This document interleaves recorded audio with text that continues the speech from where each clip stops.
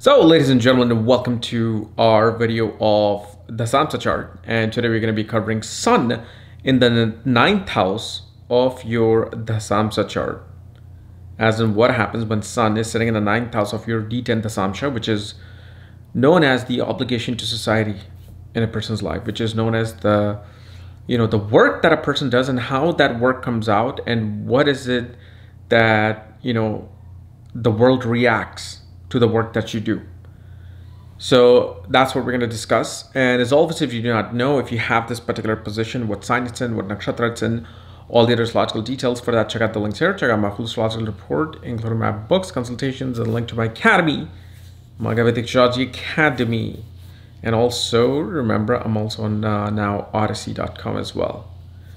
So anyway, uh, Sun in the ninth house. So Sun in Dasamsha represents the reputation of an individual. It represents the status of an individual. And ninth house represents the mentors, you know, at your work, the people who guide you regarding any work that you do. So it may not necessarily be somebody in the office. It could be somebody you just look up to, let's say in media, and they somehow help you so it shows what type of people you attract. And with Sun, naturally, we see that you will, first of all, always be guided by extremely powerful people, father like figures.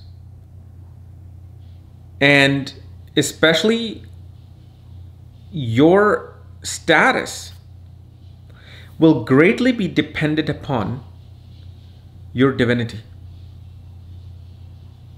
And I have seen people who keep struggling in life. And once I've found this particular theme out, I've always asked, so what are your religious views? Do you do any spiritual practices, religious practices? What is your, you know, belief in the higher and the divine? And those people would either be agnostic or atheists. And what happens here, because Sun is in the ninth house, and because of the fact your belief is not there in the ninth house, the status of a person, the reputation of a person then suffers. So this is one very simple trick that you can literally probably find result in nine days. Or actually five days. If you're an atheist,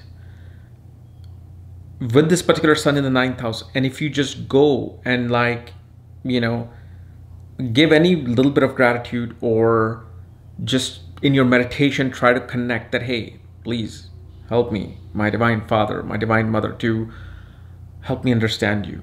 I know I'm ignorant, ignorant. If you just even give a little bit of try, you will see how the sun starts becoming active.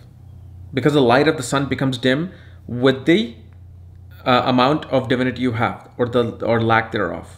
The more you infuse that, the more the bulb becomes brighter. And and naturally this person will be put into an authoritative place uh, or authoritative position in their life. You yourself are the person who becomes mentor to other people at work at one point. Now, this doesn't mean everybody becomes a mentor because some people just are regular workers and they don't really have that guidance for other people except to train them on whatever they have done but then there are people with that absolute wisdom of how to get ahead in the company. You become that particular individual with the sun. And this is why you will also create a lot of enemy out of jealousy and ego in a large organization. But sun in the ninth house will produce many, many subordinates under you. You will be highly uh, regarded with your subordinates, regardless of how the sun is. Now, if let's say sun is in a cruel position, then what happens is one naturally either gets misguided by mentors where their ego gets risen, or one will always attract people who have such high egos that you get turned off by them.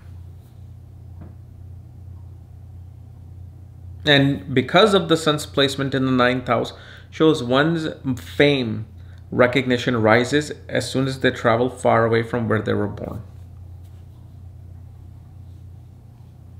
But mainly what we see here is that the higher your divinity is, the higher your, you know, enthusiasm. And you don't even have to believe, just in, enthusiasm towards wanting to know things on the subtle plane. Because an atheist is simply going by the five senses. And that's why they can't see anything. They can that's why they can't believe in anything. That's why they that gravity of faith is, you know, very low. But this sun is like a this easiest remedy actually for one's career is to start understanding that could there be not even there is could there be a more subtle world beyond these five senses am i being ignored towards it let me find out let me actually just see. Let me actually do certain procedures to see if i get anywhere. And you will see how your reputation rises in career. And when that happens you will see automatically your divinity will rise. Okay? So anyway guys this was my analysis of sun in the ninth house for Dasamsa chart. If you're new to my channel subscribe below so you don't miss this type of videos.